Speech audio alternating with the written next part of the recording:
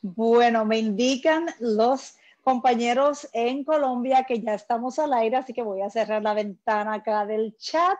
Y sí, estamos en directo con un científico puertorriqueño de nuestra Universidad de Puerto Rico, el doctor José Rodríguez Orengo, quien pertenece al Departamento de Bioquímica y ha estado al frente también como director ejecutivo del Puerto Rico Public Health Trust.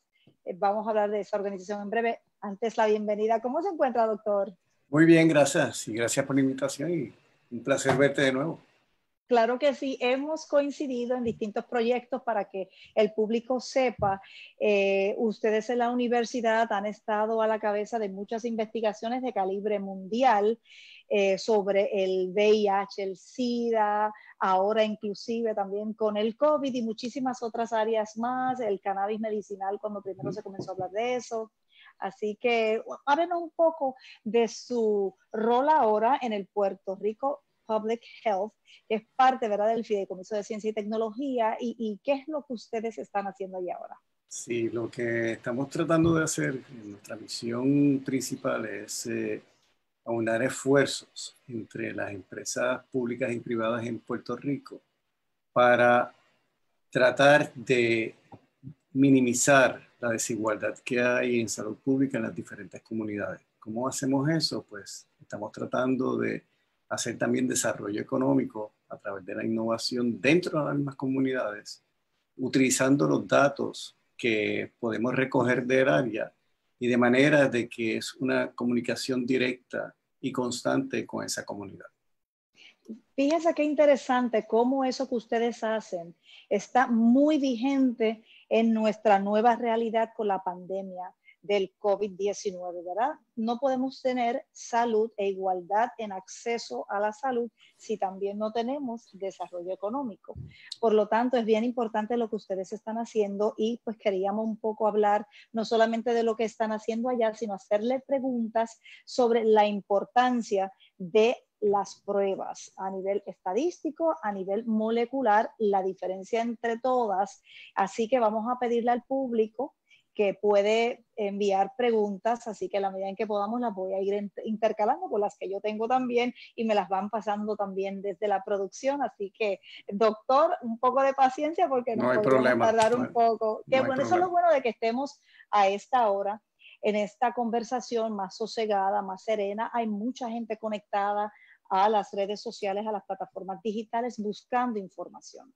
Entonces, es importante que vayamos a fuentes fidedignas de reconocida autoridad y además de peritaje. Así que usted como el perito en ciencias del área de bioquímica y molecular, vamos a ver sobre la diferencia de las pruebas.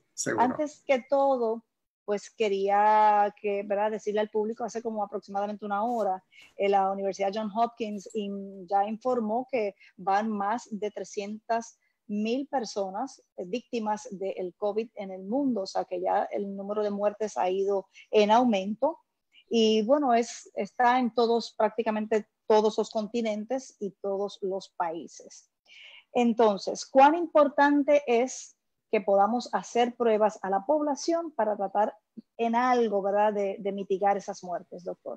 Sí, es, sumamente importante. Eh, hay dos tipos de pruebas, ¿verdad?, que estamos eh, hablando aquí en, la isla. La, primera es la que le llamamos la prueba molecular, en la cual es fácil de reconocer en términos de cómo es que se toma la muestra, porque se utiliza este hisopo nasal o el swab y se introduce a través de la nariz y te llega casi al cerebro. Así que no es, a mí me la hicieron en el día de hoy, así que eh, participé en esa experiencia que otros compañeros ya han la tenido. Eh, no fue tan traumática en mi persona como en algunos de, de los empleados que tenemos aquí. Eh, yo creo que también, doctor, alrededor de eso hay un poco de mito, ¿verdad? Porque la gente a veces se impresiona por el tamaño del swab yo también me la hice, pero más molesta una aguja. Sí, eh, particularmente yo creo que es eh, lo que se habla en, la calle con relación a este tipo de, pruebas. Pero las personas que están haciendo y están tomando estas muestras eh, ya tienen la capacidad y el entrenamiento y lo hacen de una forma sosegada y uno se relaja con ellas y realmente no, no pasó nada.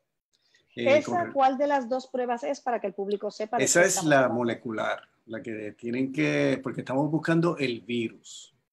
Esta es, la, esta es la prueba en la cual se puede utilizar para hacer un diagnóstico. Es la única que se puede utilizar. Así que si a ti te dicen que te hacen una prueba rápida, que ya mismo la vamos a explicar, y te dicen que está positivo o negativo, no te están dando un diagnóstico, te están dando de que en algún momento pudiste haber estado expuesto al virus. Y ya mismo... ni, siquiera, ni siquiera revela eso si te dio, en efecto, el COVID. Ya mismo te explico un poco más sobre esto. Así que esta prueba molecular se envía a los laboratorios de referencia en la isla. En el momento hay ocho laboratorios en Puerto Rico que están haciendo la prueba, así que eso es muy bueno. En donde hace seis semanas, eh, en unión al Ciencia Puerto Rico, que es una organización de puertorriqueños eh, que une a, nosotros aquí en Puerto Rico y en, y en, la, en la diáspora, nos unimos a estos seis laboratorios grandes de referencia en, la isla, en donde estábamos buscando cuáles eran las barreras que ellos tenían para poder hacer este tipo de eh, estudios de pruebas.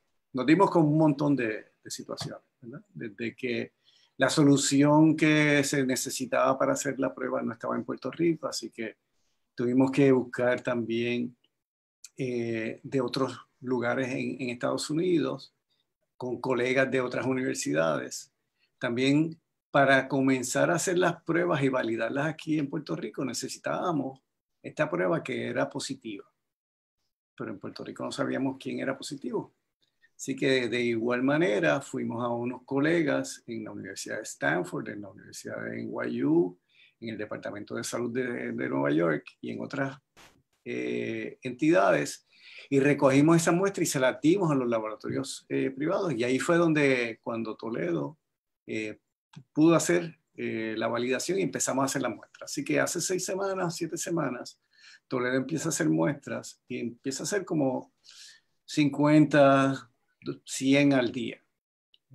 luego seguimos trabajando con ellos de manera tal de que podemos al día de hoy, y me gustaría enseñar una gráfica si es posible, dentro de la tecnología. A ver si voy a poder dar share aquí. No, y en lo que usted lo busca, usted ahorita hay muchas preguntas, pero dijo que eran ocho laboratorios, significa que los otros eh, son eh, más bien de, para tomar las muestras y los envían a estos ocho que son los que realmente eh, realizan la prueba. Sí, debo, debo hacer esa aclaración. En Puerto Rico hay una gran cantidad de laboratorios clínicos municipales, no que pertenecen al municipio, sino que están en municipios eh, pequeños, ahí toman las muestras y se las envían a estos laboratorios de referencia. Y en esta gráfica que estamos presentando en, la noche de hoy, pueden ver cómo esta gráfica aumenta como si fuese un virus, en términos casi exponencial, donde hace seis semanas, como les dije, estábamos cerca de 50 o 200 eh, muestras eh, al día, porque en el eje de Y tenemos eh, que son las muestras de PCR y en el eje de X tenemos las fechas. y es por semana por semana, pero lo que estoy poniendo en los puntos sería la cantidad diaria que se hace. Y como pueden ver, ya para la semana pasada habíamos superado las 2.000 muestras diarias. Así que eso es importante porque lo que uno quiere tener en un país es poder hacer por lo menos el 1% de la población. Siendo en Puerto Rico cerca de 3 millones, pues las 3.200. Así que yo entiendo ya que en esta semana debemos estar superando o llegando a esa cantidad por día. Y eso es importante porque ahora podemos hacer todas estas pruebas, podemos coger a las personas positivas y aislar, aislarlas físicamente de manera tal de que entonces esta transmisión no siga. Y como dije, esta es la única prueba que se está haciendo en estos momentos que se puede utilizar para diagnóstico. Quisiera presentar. No, adelante, siga con la presentación. Eh, entonces, esta segunda prueba, esta segunda gráfica, tenemos en la parte izquierda la misma gráfica que teníamos anteriormente, solamente para recordarle lo que habíamos dicho de que esto está subiendo.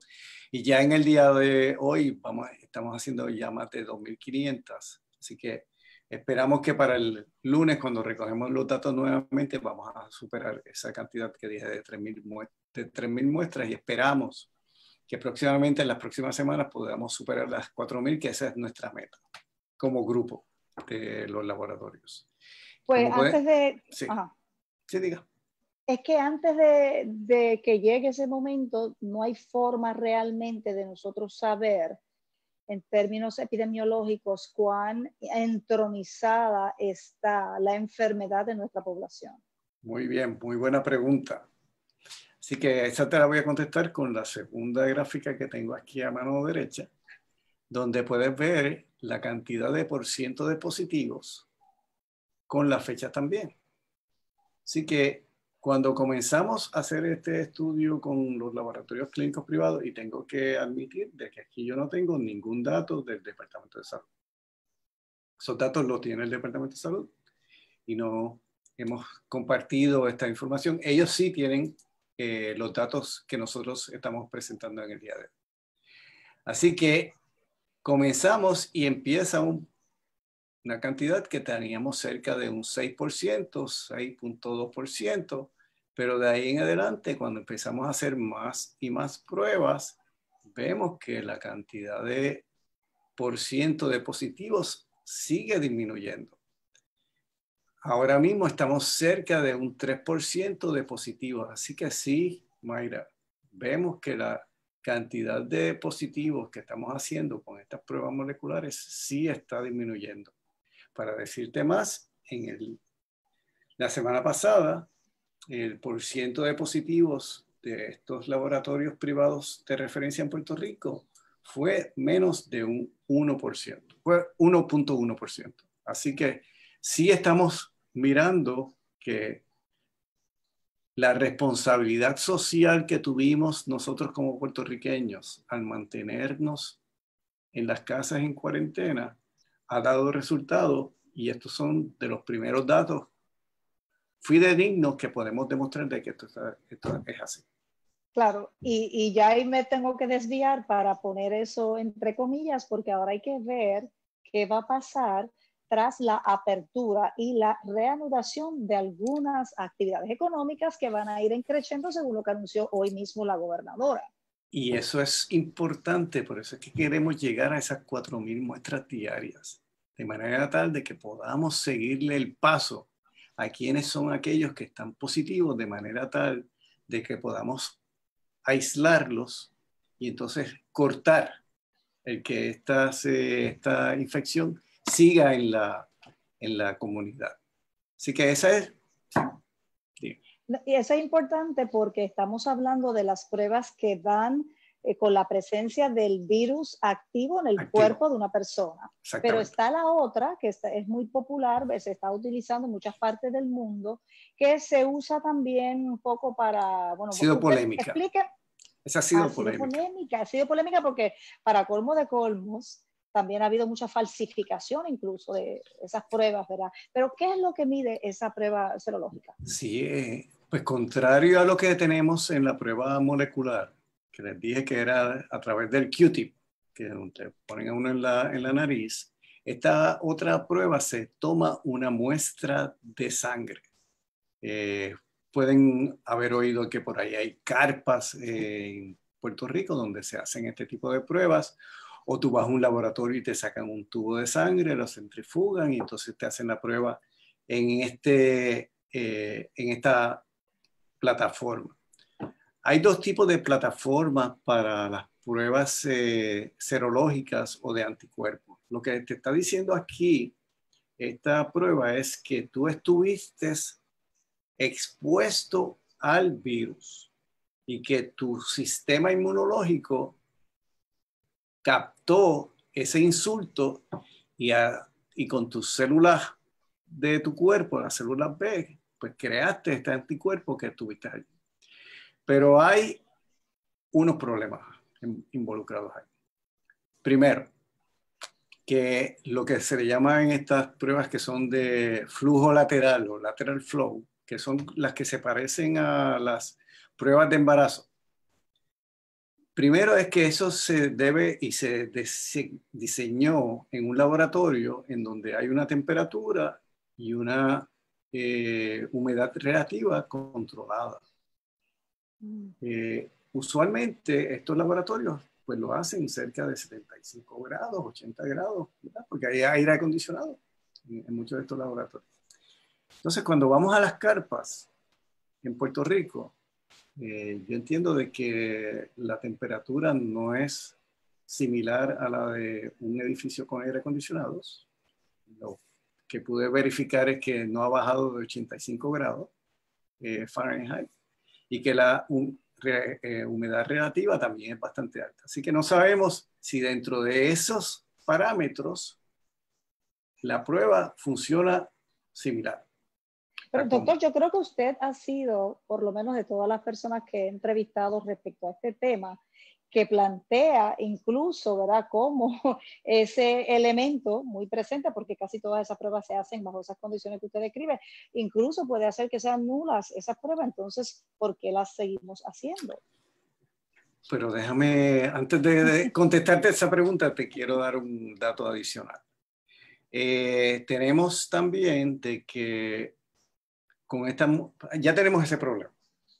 Ahora, vamos a decir que hay gente que sí, que la hace en el laboratorio, lo mantiene bajo control de humedad y de eh, temperatura. Así que eh, cuando se hace en el laboratorio no debe haber problema. Sin embargo, dada a la flexibilidad que dio el FDA con relación a estas pruebas, se estaban aumentando la cantidad de ellas que venían al mercado. Y lo que decían ellos es, yo hice la validación de esta prueba el FDA le decía, ok, tú puedes utilizarla, eh, después me envía los resultados.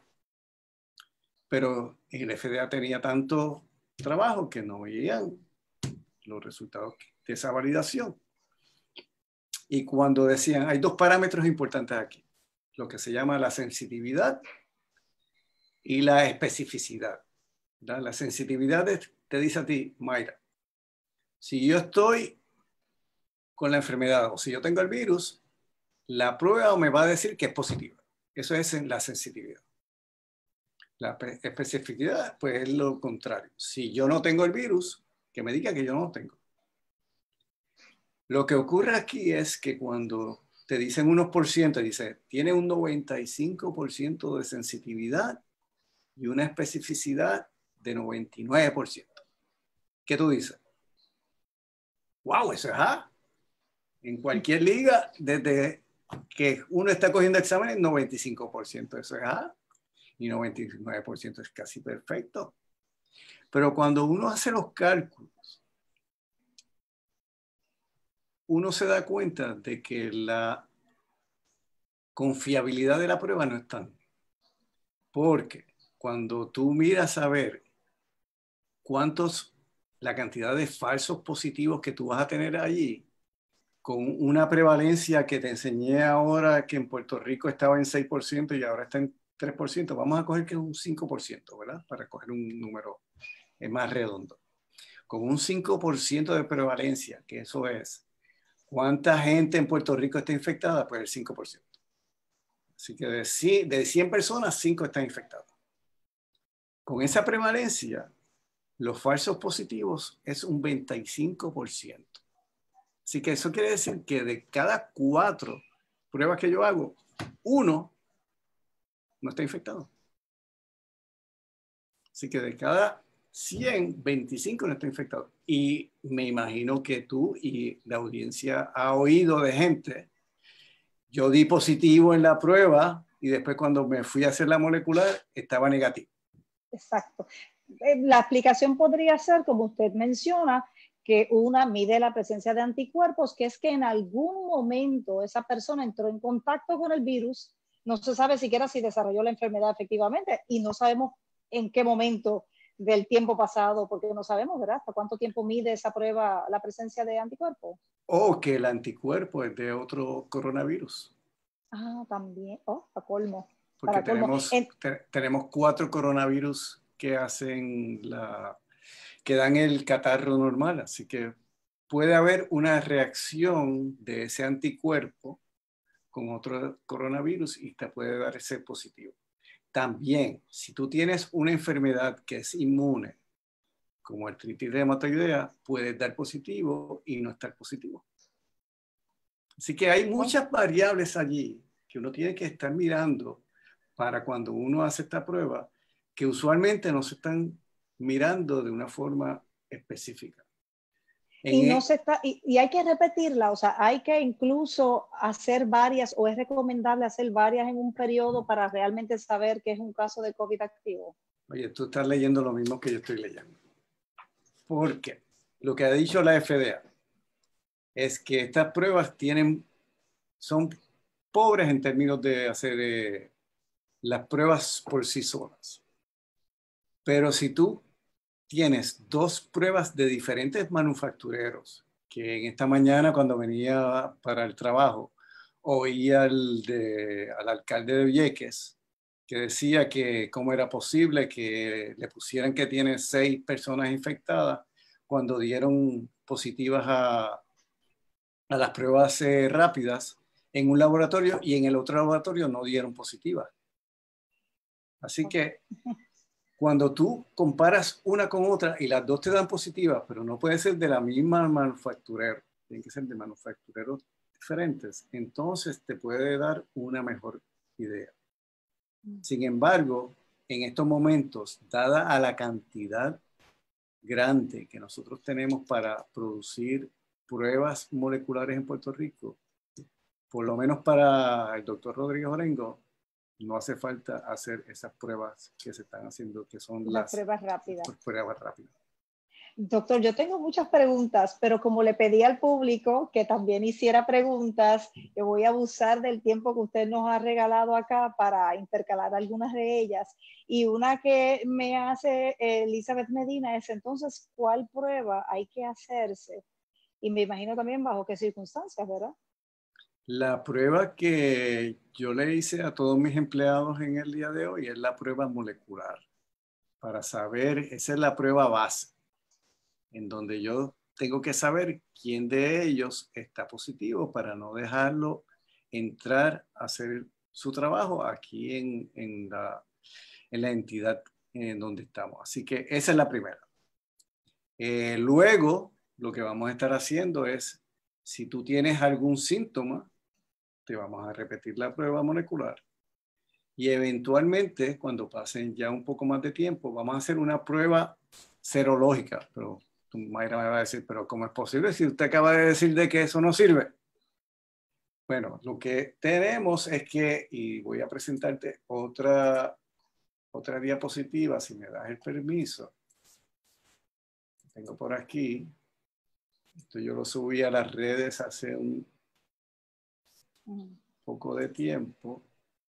Eh, okay.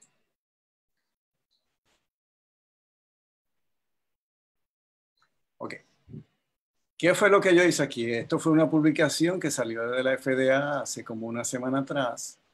Y ellos tenían todas las pruebas serológicas que hay en el mercado que están aprobadas por la FDA. ¿Okay? Entonces, lo que les dije de sensitividad y especificidad está en esta gráfica. Entonces lo que yo estaba buscando era la parte de FP, ¿verdad? Que FP es false positive, o falso positivo. Y entonces la puse en orden las que tuviesen menos de un 10% de falsos positivos, pues puse en verde. Las que están entre un 10 y un 20% están en amarillas y las que están más de un 20% eh, están en eh, rojo. Pues surge, y estamos diciendo de que esto es una prevalencia de un 5%, como habíamos dicho anteriormente, porque esto es importante, la, la prevalencia es importante para sacar todos estos números. Mientras más pequeña sea la prevalencia, los números de falsos positivos van a seguir aumentando. Pues esta que está, que estoy ajustando aquí con el, eh, con el puntero, la de Selex. En el sector rojo. En el sector rojo, pues pueden ver que esta era la que todo el mundo quería comprar en Puerto Rico porque estaba aprobada. Y cuando vienes a ver los falsos positivos, es como tirar una moneda al aire y decir si está o no positivo. Así que, bueno, y también una mala inversión de los recursos para el efecto, incluso en términos de eficiencia, porque no vas a lograr gran cosa, ¿no? No vas a lograr gran cosa. Así que estos que están en verde son realizados en laboratorios especializados de referencia como los que tenemos en Puerto Rico.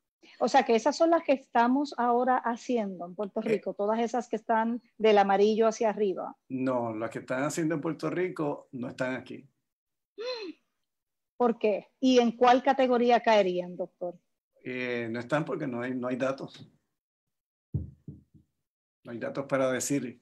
Si, va, si fuésemos a comparar alguna, sería esta de Celex, que fue la que todo el mundo quería comprar en Puerto Rico. Así que con un 94% de sensitividad, que eso es una A, con una especificidad de 96%, que también es una A, tenemos que el 45%, eso quiere decir que, de cada dos pruebas que yo hago, una me va a dar falso positivo.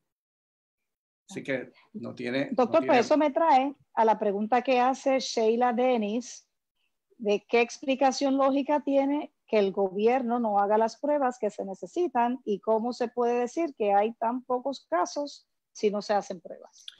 Bueno, ya estamos haciendo pruebas, ¿verdad? Desde el sector privado ya y le hemos demostrado de que estamos haciendo más de 2.500 pruebas diarias y esto va a seguir aumentando. Y lo que estamos viendo eh, es que la cantidad de positivos que tenemos, por lo menos del muestreo que estamos haciendo, sigue disminuyendo que eso son muy buenas noticias. Y de nuevo, el que me diga de ahora en adelante que los puertorriqueños no somos responsables, yo digo, usted está equivocado. Nosotros hemos demostrado en estos dos meses que la gente más responsable de todo este hemisferio ha sido los puertorriqueños porque nos hemos mantenido allí y se demuestra en los resultados que acabo de mencionar y también en lo que se ve en los hospitales de Puerto Rico por lo menos, doctor, si no en todas las áreas del que hacer, por lo menos si temen morir y si temen enfermarse. Sí, sí, pero somos responsables.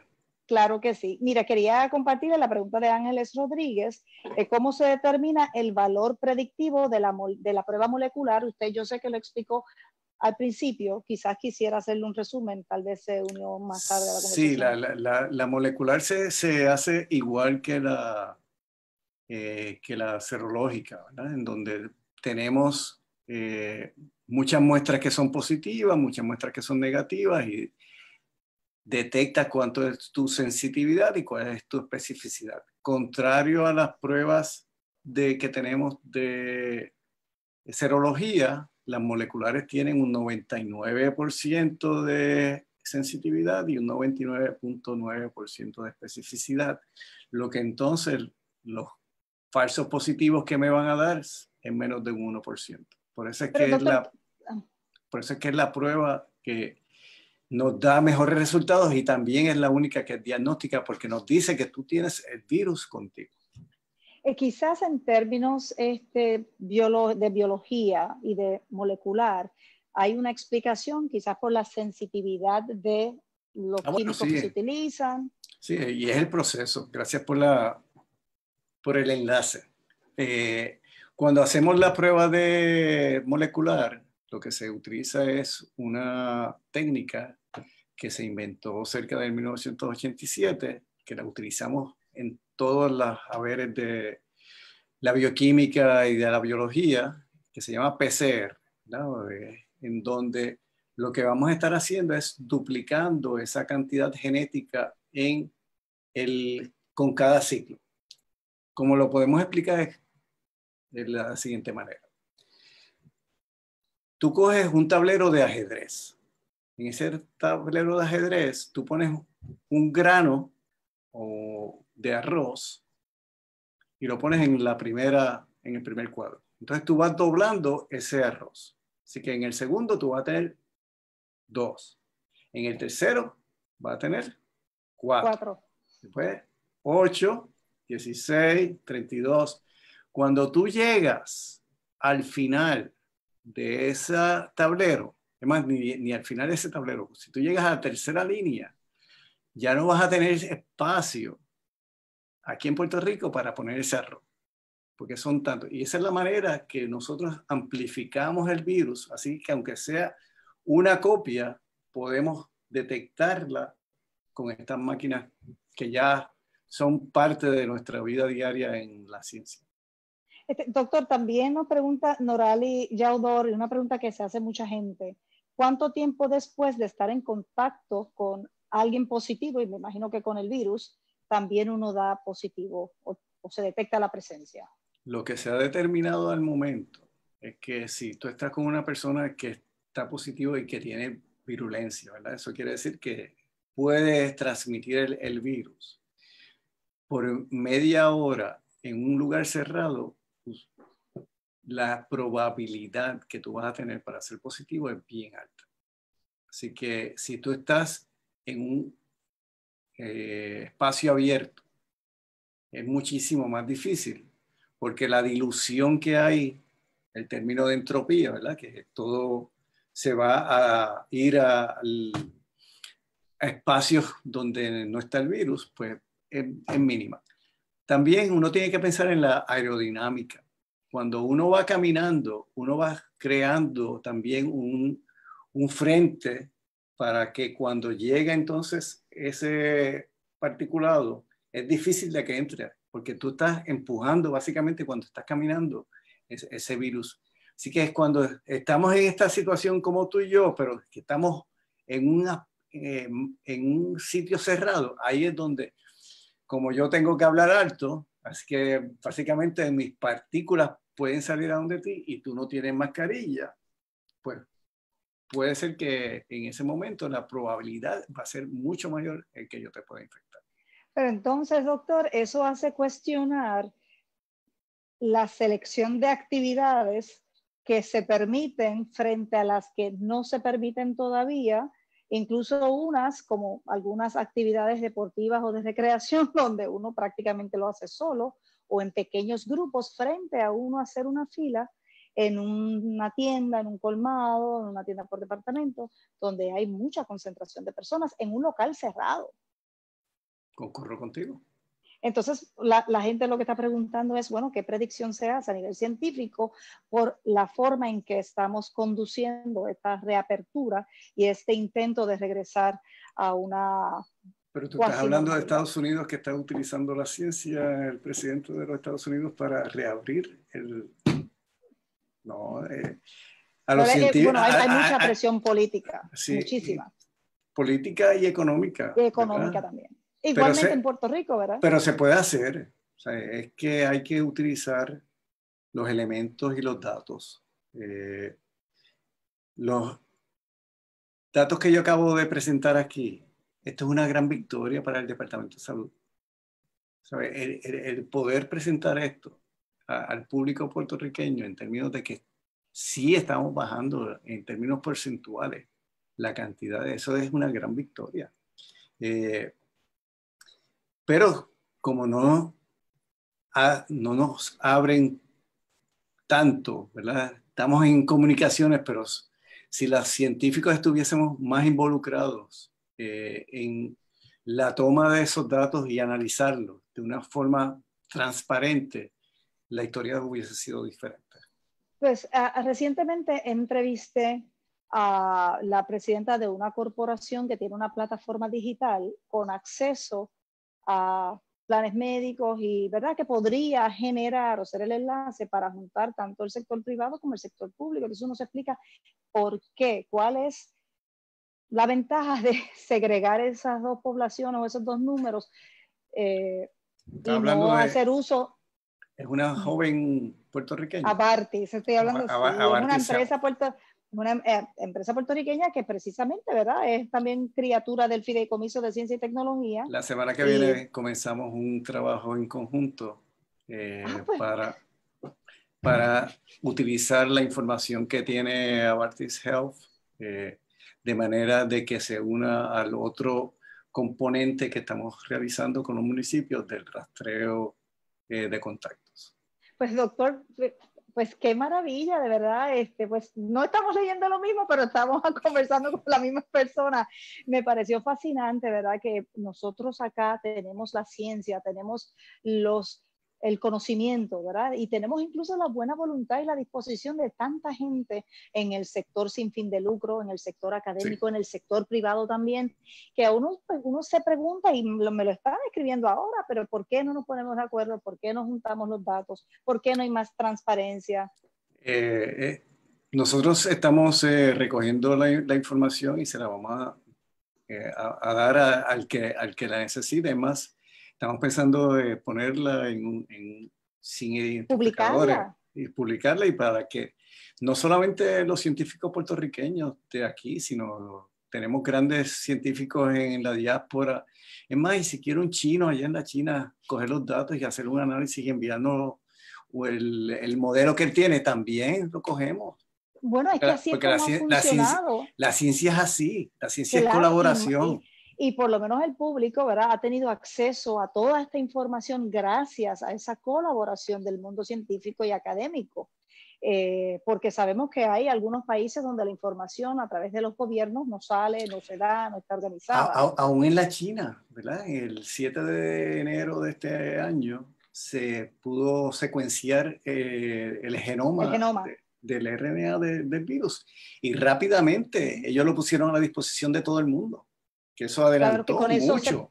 eso es importante porque con eso se va desarrollando y adelantando lo que podría ser una vacuna. Exacto. ¿verdad? Y, y, todo el resto de la investigación. Eh, pero quiero regresar, doctor, eh, en lo que llega alguna otra pregunta, eh, que no hemos hablado del virus y las características quizás de mutación porque entonces llegamos al primer tema, que es las pruebas. Entonces, ¿cuán efectivas serían estas pruebas? Y si estas pruebas no hay que estar cambiándolas y modificándolas en la medida en que vemos que ese virus también va cambiando. No, porque lo que se hace en términos de la ciencia es que se cogen unas áreas en específicas de este virus en las cuales se hacen unos análisis bioinformáticos que se entiende de que no va a mutar.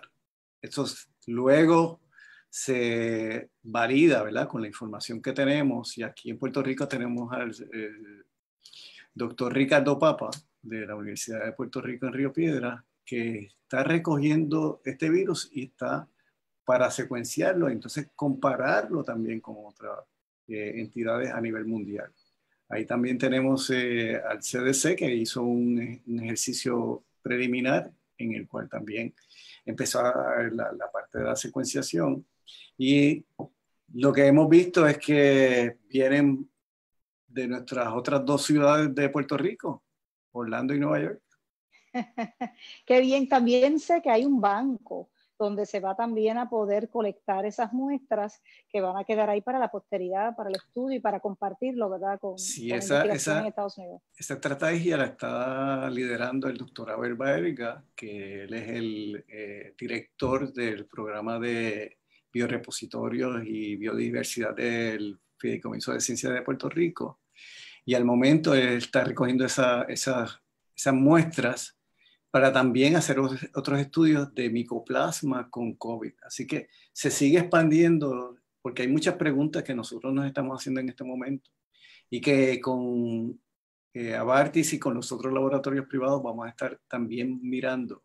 Anoche estaba leyendo sobre la concentración de vitamina D en las personas y cómo hay una correlación, aunque es retrospectiva, mientras menos vitamina D, la progresión de la enfermedad va más rápido. Eso podría a la larga, doctor, explicar y acompañar el buen comportamiento y la disciplina del puertorriqueño, porque además tenemos la gran bendición del sol tropical. Del sol tropical, sin embargo, han hecho estudios en Puerto Rico. En de que la gente no toma sol. De que nuestra cantidad de vitamina D poblacionalmente es baja. Así que uno debería eh, ir, si no vas y te vas al sol, por lo menos comprarte los suplementos, por lo menos 2.000 miligramos al día y tomarte. Eso es lo que, yo voy a, lo que yo voy a estar haciendo ahorita cuando llegue a casa. Y, y es lo que se recomienda, además de la, la actividad, una buena alimentación para uno tener ese sistema fortalecido. Sí, definitivamente. Y hay algo que ha surgido aquí en Puerto Rico que me imagino que los eh, que nos están escuchando y nos están viendo lo, lo han visto, que son las cajitas de productos de aquí de Puerto Rico que han sido muy populares eh, en el Fideicomiso de Salud Pública o el Puerto Rico Public Health Trust. Ahora estamos eh, tomando esta iniciativa eh, con una cooperativa que hay en Utuado, la cooperativa de COSAO, que la dirige Tito Valentín.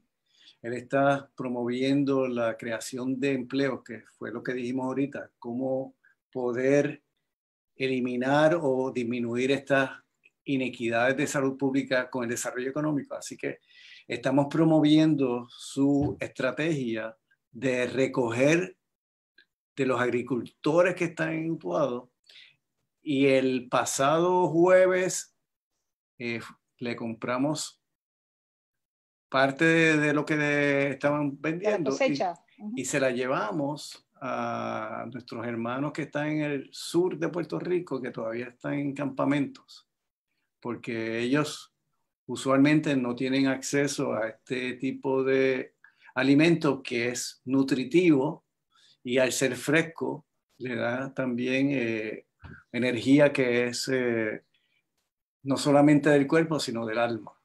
Claro que sí, y que además muchos de esos productos son orgánicos, si no certificados, por lo menos anecdóticamente, porque sabemos que ¿verdad? No, no se utilizan químicos en esas fincas. y, la semana, y, esta semana fuimos a una eh, comunidad en Canoas, que la mayor de, de los hermanos que viven ahí son indocumentados, que también son la otra comunidad que está sufriendo bastante porque ellos no reciben las ayudas que da el gobierno.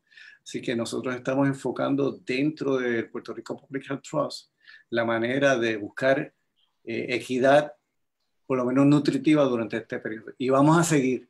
Allí, aquellos que quieran pueden comunicarse con nosotros, pueden hacernos donaciones al Puerto Rico Public Health Trust, que estamos eh, tratando de eliminar un poco de esa, de esa inequidad nutritiva que hay. Pero que sí que incide sobre la salud y oh, la salud como, como verá, como un todo, como algo holístico. Doctor, antes de eh, irnos, este, me dice la productora que tenemos más preguntas. Eh, yo no quiero abusar de su tiempo, pero sí me gustaría recapitular sobre lo importante de lo que el momento en que estemos, en que estamos y el asunto de las pruebas, la recomendación por lo, la información que usted ha recopilado y nos mostró al principio es que no se hagan estas pruebas serológicas, que miremos qué cosas en particular. Sí, Si te vas a hacer una prueba, hazte la prueba molecular. Si tuviste síntomas hace un mes atrás, si tuviste síntomas, tú vas a dar negativo a, y tuviste el virus, vas a dar negativo al, al virus si estás claro de que los síntomas que tuviste son relacionados al COVID-19, yo iría a dos sitios en Puerto Rico y voy a decir quiénes son porque son los que lo tienen en estos momentos. Sería el laboratorio Quest o el laboratorio Toledo, que ellos tienen las pruebas que puse que estaban en verde, que las que tienen los falsos positivos menos de un 5%, de un 10%. Esas son las que yo iría. Iría a ella y me haría para ver si ya yo tengo ese anticuerpo que me hace eh, inmune a que pueda reinfectar. Claro, y estaría mejor preparado para una segunda oleada, que es lo que la comunidad científica espera. Tengo una última pregunta de Sid Yaurador. Si podría, usted, si entiende que despediremos el año con mascarilla y medidas de seguridad personal. Estamos trabajando también con otro grupo de Ponce con el doctor Juan Carlos Orengo, el primo, eh, donde él hizo eh, la, proyección siguiente.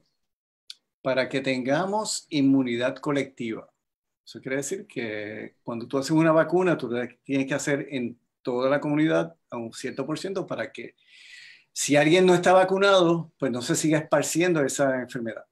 ¿Okay? Así que él hizo la, el cálculo para que en Puerto Rico tengamos esa inmunidad colectiva, o en inglés se llama herd immunity. Herd immunity. Tenemos que estar en un 63% de la población. Así que, ¿cuánto es? ¿En qué por ciento, doctor? 63% de la población. ¿Verdad? Con las condiciones que tenemos al momento. ¿Cuánto es el 63% de la población puertorriqueña? 1.9 millones de personas. Aún infectándose 1.250 personas diariamente por los próximos dos años, no llegamos a esa cantidad.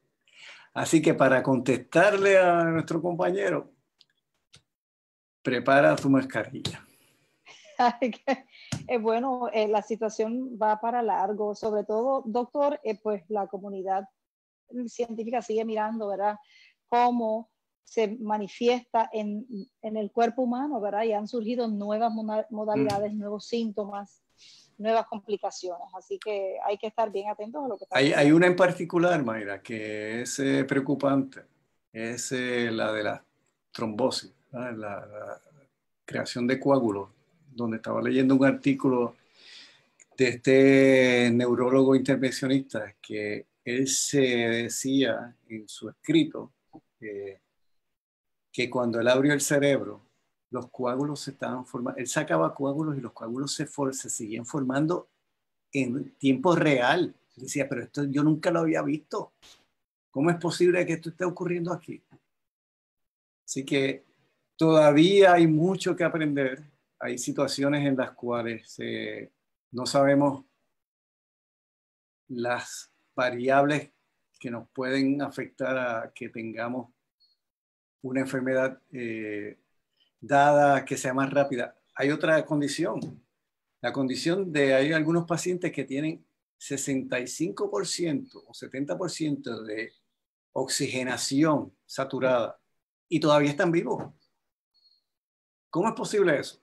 ¿Cómo es posible que tú tengas 65% o 70% de oxigenación en tu cuerpo y todavía tú estés vivo?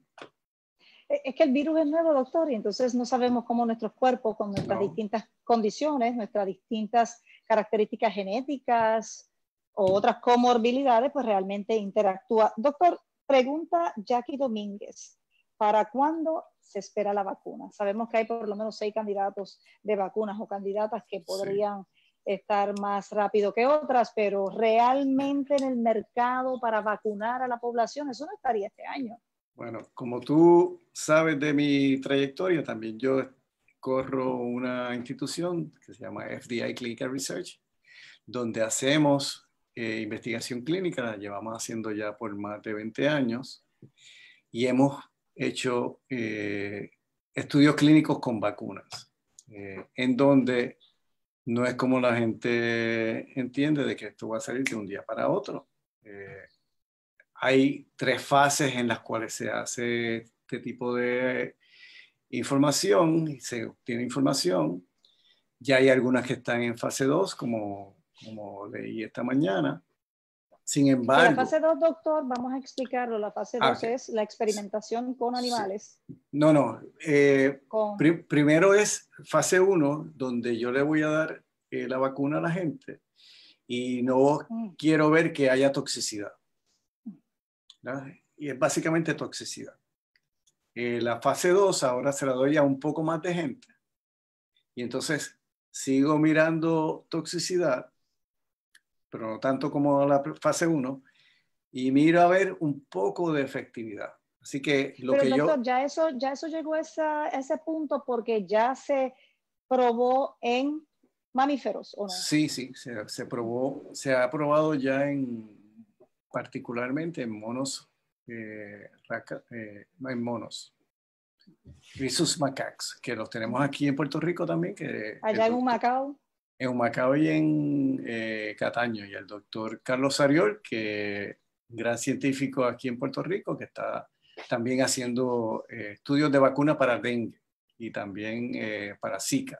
Así que aquí se están haciendo cosas extraordinarias, lo que pasa es que no dan el tiempo para, en las redes para, para hablar de todo lo maravilloso que estamos haciendo aquí en, ah, pues tenemos un compromiso para hablar de esos proyectos también, que está bien interesante y conozco eh, los experimentos con esa, esa especie porque visité la isla de monos allá en Humacao mucho antes de, del huracán María, así que Mira, hay que ver en qué andan ahora. En, Francia dieron un documental de esa isla y se vio por millones de personas en Francia.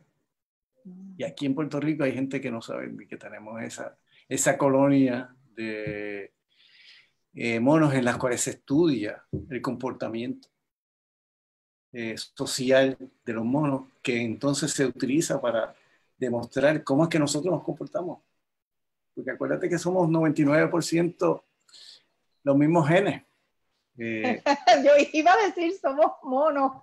Sí, casi casi. Ah, hay, hay unos que, que, son más que otros, pero sí.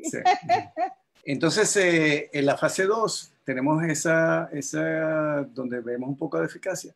Y entonces en la fase 3 se abre eh, con un gran número de personas. Y entonces ahí vemos efectividad. Y si tú tienes una prevalencia de un 1% menos, el que una persona se infecte va a ser menor. Así que ver los resultados de que si es efectiva o no es efectiva va a durar mucho tiempo también reconocerse. Así que yo sigo las recomendaciones de Anthony Fauci que dice que esto va a tomar por lo menos un año, año y medio, si tenemos una vacuna, todavía no sabemos si vamos a tener una vacuna.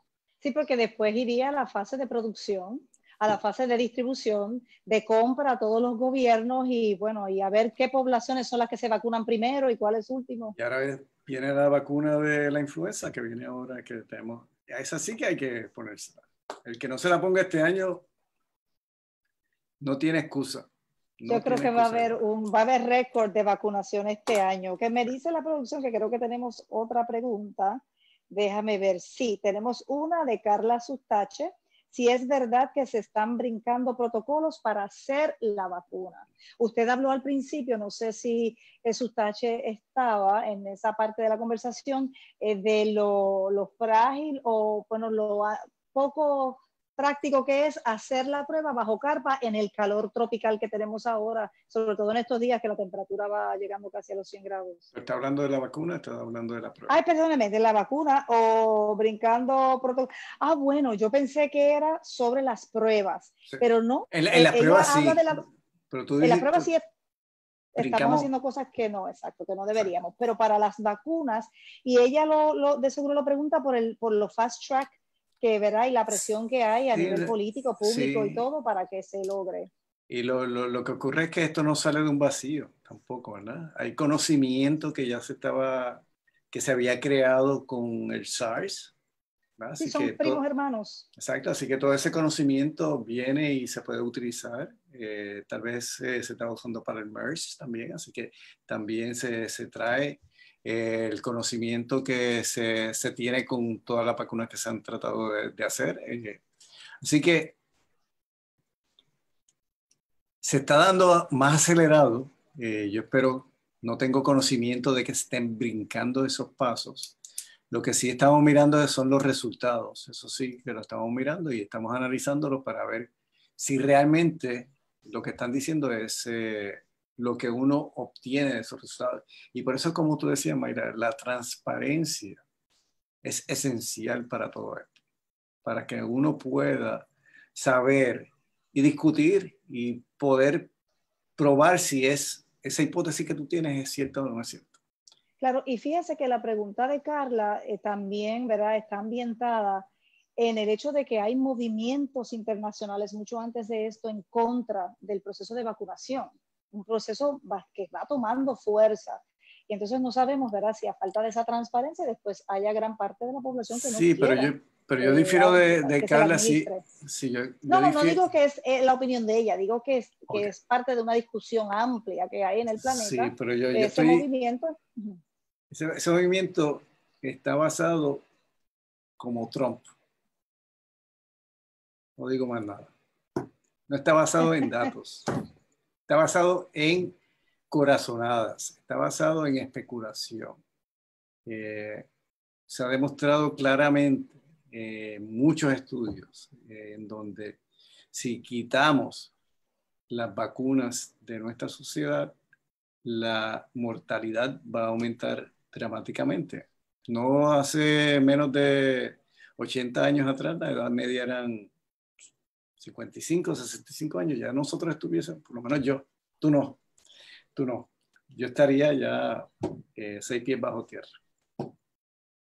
Pues doctor, hemos estado ahí casi una hora conversando usted y yo y participando al público a través de las preguntas, así que estoy muy agradecida de que pues hayan sintonizado, estén acá y pedimos que compartan la información porque como señalé al principio es importante, ¿verdad?, separar los mitos y todo lo que es la falsa información. Yo no uso el término fake news porque si es noticias no es fake. Por lo tanto, es falsa información eh, y es un Aprendí algo. Científico. Sí, sí, sí. es un, acercamiento científico, ¿verdad? De utilizar las palabras propiamente, no dejarse llevar por eh, la intención propagandística del que la usa.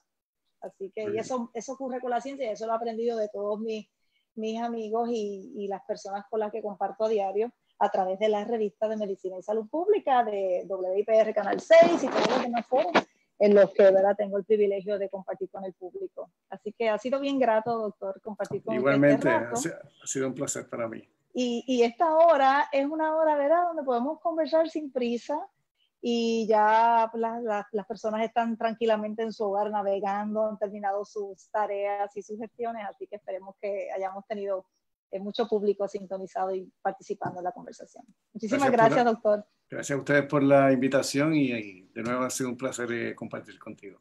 Pues tenemos una cita para los anuncios que van a hacer próximamente con Abartis y ah, también dar seguimiento a las investigaciones que se hacen por la, esa población de monos en Puerto Rico que es de aquí. Y no, te, y, hablé, y, no, y no te hablé de la saliva, que ya estamos trabajando con eso también. Ah, pues hay muchas noticias por ahí, son todas noticias buenas, son todas noticias que surgen del talento puertorriqueño eh, y bueno, y el trabajo que se hace desde acá. Y, mucho, además, Sí, y además son productos de nuestras universidades. Y que yo soy solamente el portavoz. De, conmigo al lado hay decenas y cientos de compañeros científicos que están día a día eh, buscando la información, trabajando duro para proveerle esa información de una forma clara y transparente a todos nosotros en Puerto Rico. Claro que sí, que además van de la mano de ingenieros, técnicos, personal administrativo, era todo un gran andamiaje y toda una industria alrededor de ese conocimiento. Muchísimas gracias, doctor. Y al público también por habernos acompañado. Esperemos que haya sido de su agrado. Llevamos ya dos días consecutivos en este horario con los Facebook Lives, así que muchísimas gracias, quizás este, tengamos una muy pronto. Así que síganos en todas las plataformas bajo arroba revista MSP y también puede escuchar la entrevista si está ajorado haciendo cosas, mire, puede escucharla a través de la plataforma SoundCloud. Muchísimas gracias, será hasta una próxima ocasión. Hasta luego.